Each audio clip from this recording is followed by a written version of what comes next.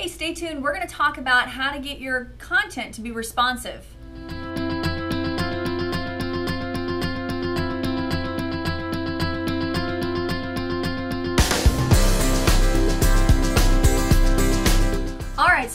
Talked to me about the fact that you might go out and get you a responsive theme, but whenever you want to get creative and get your content in a page or post and you want to have certain columns of content, sometimes you're running into typing the old school way of setting a table in there and it doesn't respond uh, with your responsive website, uh, with your theme. So what we want to do today is walk you through exactly what plugin to use to cause your content to be responsive and stack correctly. Here we go.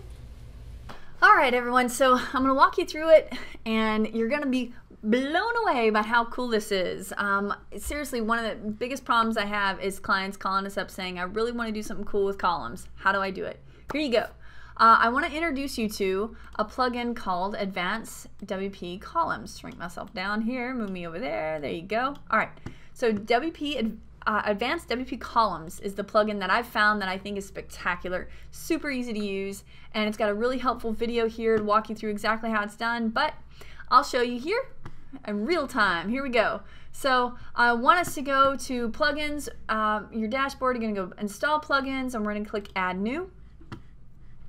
Over here in the little search bar area, I'm just gonna type in advanced WP columns, search, and it's gonna bring me to here.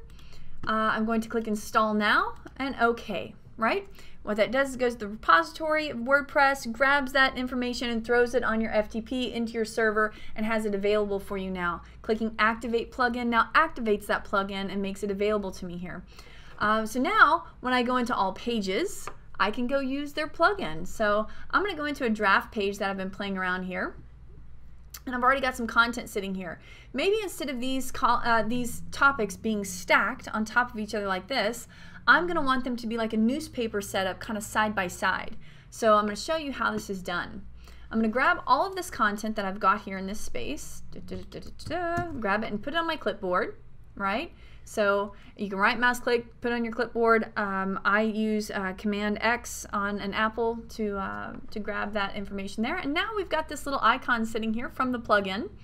Clicking on that little icon brings me to this cool uh, WYSIWYG type thing. It's super cool. I'm going to add drag. This allows you to set the columns to be any width you love, which is why I love this plugin because sometimes you want a one-third, two-third layout or you want four columns. You want to get really creative with how that looks in this space. This allows you to do it without knowing any code. Amazing. So I'm going to go and drag this to about what I see visibly as being uh, one column there. I'm going to add another column here, open this up and say I want this space to be like this uh, maybe a little bit more padding between the two. I'm going to paste in uh, my content um, and then I'm going to grab this other bit here that I want to be on the second side over here and just click and paste. And now there's uh, the judo topics and here is this header over here um, that space and I'm going to click add columns. Check that out. How groovy cool is this right? So I'm going to preview this page. The front side of my website, run over here and preview it, clicking here.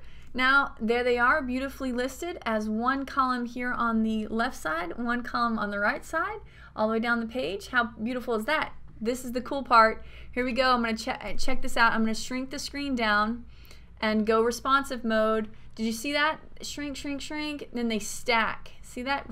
And they stack.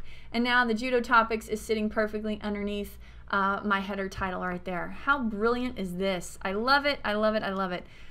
That's super simple to use. Get creative. Again, you can play around with um, adding in, you know, if you wanted three columns, you would just size them like this and do uh, three visibly equal columns. Da, da, da, there you go.